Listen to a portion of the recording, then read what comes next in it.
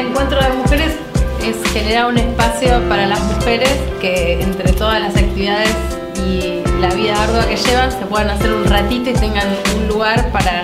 para venir acá y descansar su cabeza o su cuerpo, para, para charlar entre nosotros, para aconsejarnos, para ver si podemos buscar alguna solución en algunos de los organismos del Estado, si es algo que, que puedan necesitar, buscar un espacio de, de relación